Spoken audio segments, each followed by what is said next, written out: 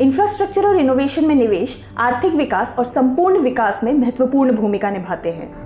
दुनिया की आधी आबादी आजकल शहरों में रहती है। इसलिए बड़े पैमाने पर परिवहन और रिन्यूएबल एनर्जी का इस्तेमाल भी महत्वपूर्ण हो चुका है। साथ ही नए उद्योगों और इंफॉर्मेशन टेक्नोलॉजी के साधनों की ज़रूरत भी बढ़ती जा रही है। तकनीकी प्रगति, आर्थिक और पर्यावरण दोनों चुनौतियों का स्थायी समाधान ढूँढने के लिए बेहद ज़रूरी है। जैसे कि नई नौकरियाँ प्रदान करना और एनर्जी एफिशिएंसी के साधनों को बढ़ाना, स्थायी उद्योगों को बढ़ावा देना और वैज्ञानिक अनुसंधान और नवाचार में निवेश करना सतत विकास को सुविधाजनक बनाने के लिए महत्वपूर्ण तरीके हैं। एक रिपोर्ट के अनुसार, चार बिलियन लोगों तक आज भी इंटरनेट की पहुँच नहीं है। इनमें से 90 प्रतिशत लोग विकासशील देशों में रहते हैं। इस डिजिटल खाई को भरना बहुत ज़रूरी है ताकि सभी की सूचना और ज्ञान तक एक समान पहुँच हो।